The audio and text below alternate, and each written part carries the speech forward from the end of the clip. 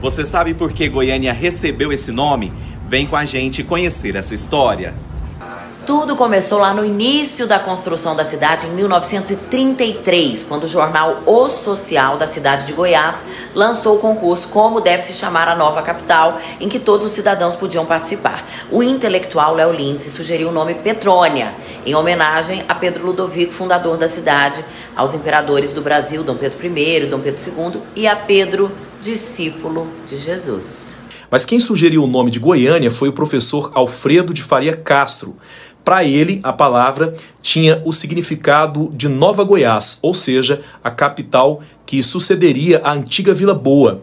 No resultado da votação, Petrônia saiu na frente, mas a cidade só foi batizada mesmo dois anos depois, no decreto de 1935, quando Pedro Ludovico Teixeira optou por Goiânia, desconsiderando a homenagem ao seu próprio nome. A palavra Goiânia se origina de Goiana, do tupi-guarani, que significa terra de muitas águas. Uma definição muito bem fundamentada, já que nossa cidade possui ao todo 85 mananciais catalogados. Interessante, né? Conta aqui pra gente nos comentários se você já sabia dessa história.